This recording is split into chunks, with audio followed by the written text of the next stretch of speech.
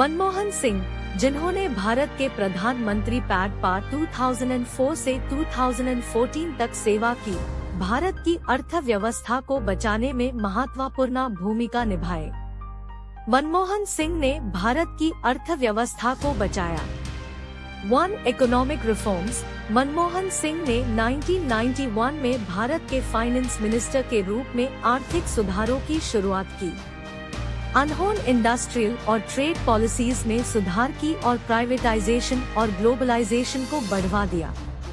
To, liberalisation, Singh की नेताई में, भारत ने आर्थिक उदारीकरण और व्यापारिक क्रियान्वयन में सुधार किया।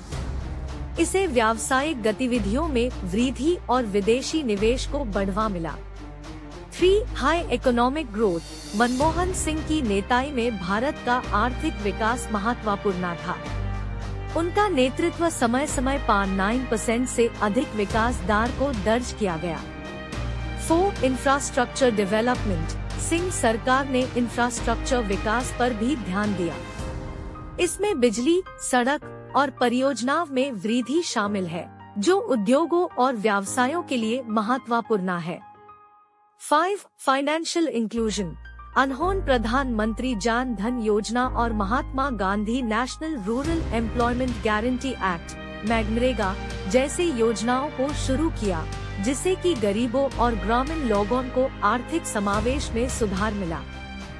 Six, global financial crisis, Singh की नेतृत्व में भारत ने 2008 के ग्लोबल आर्थिक महासंकट के बावजूद स्थिर अर्थव्यवस्था बनाए रखा। अनहोन योजनाओं और उद्योगों को सुरक्षित किया। Seven physical responsibility. Manmohan Singh सरकार ने फ़िज़िकल रिस्पॉन्सिबिलिटी और बजट मैनेजमेंट में सुधार किया, जिसे फ़िज़िकल प्रबंधन सुधार गया। मनमोहन सिंह ने भारत की अर्थव्यवस्था को सुधारने और विकसित करने के लिए महत्वपूर्ण कदम उठाए।